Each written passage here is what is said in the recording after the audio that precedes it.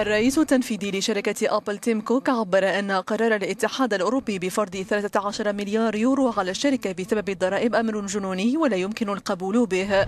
وأضاف أن التحيز ضد الولايات المتحدة الأمريكية لعب دورا كبيرا في هذا القرار كما أكد أنه سيقاتل بمعية إيرلندا لتغيير القرار الذي صدر ضد الشركة العملاقة التي يترأسها وأضاف إنه جنون إنه قرار مخيب للآمال ومن الواضح أن القرار تم إصداره من مكان سياسي لا أساس له في القانون أو الواقع. فمن السهل جدا أن نرى ما هو معدل الضريبة لدينا ودفع الضرائب لدينا. نكشف لهم عن ذلك علنا في جميع أنحاء العالم.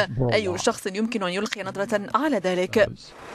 المفوضية الأوروبية أعلنت أن إيرلندا منحت مزايا ضريبية لشركة أبل ما مكنها من دفع ضرائب أقل بكثير من الشركات الأخرى على مدار سنوات عديدة.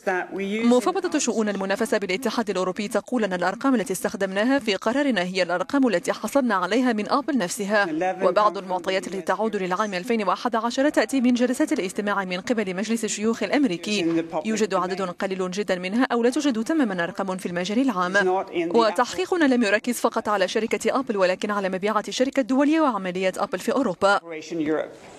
المفوضية الأوروبية أجرت تحقيقات استغرقت ثلاث سنوات بشأن التسهيلات الضريبية التي حصلت عليها أبل في إيرلندا.